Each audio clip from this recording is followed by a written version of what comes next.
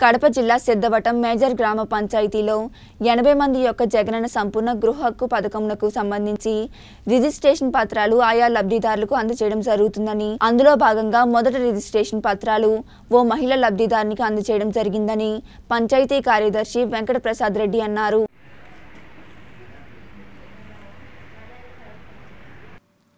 ఎవరి పేరు మీదనైతే రిజిస్ట్రేషన్ పత్రాలు ఉన్నాయో ఆయా లబ్ధిదారులు పంచాయతీ కార్యాలయానికి వచ్చి సంపూర్ణ గృహకు రిజిస్ట్రేషన్ పత్రాలు తీసుకోవాలని తెలిపారు. ఈ కార్యక్రమంలో మహిళా police Shobhalatha digital assistant Mrinalini తదితరులు పాల్గొన్నారు.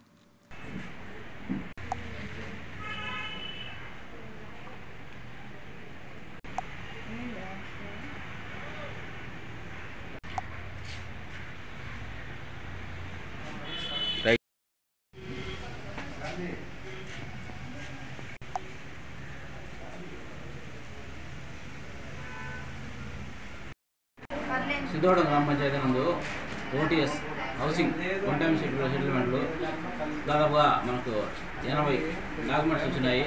అవన్నీ కూడా వాళ్ళకి కొందరికి పదివేల రూపాయలు అమౌంట్తో కొన్ని కొన్ని ఫ్రీ టెన్ రూపీస్తో రిజిస్ట్రేషన్ చేయించడం జరిగింది. ఇప్పుడు వాళ్ళందరికీ కూడా రిజిస్ట్రేషన్ డాక్యుమెంట్స్ ఎవరైతే స్కానింగ్ ఈసైన్ అన్నీ కంప్లీట్ చేసి వాళ్ళకు సంపూర్ణ హక్కుతోటి వాళ్ళకి రిజిస్ట్రేషన్ పత్రాలు అందరూ అందజేయడం జరుగుతూ ఉంది. కాబట్టి వాళ్ళు ఇరవై నుంచి కూడా ఆ గృహానికి సంబంధించి సంపూర్ణ లబ్ధిదారులు అయి ఉన్నారు.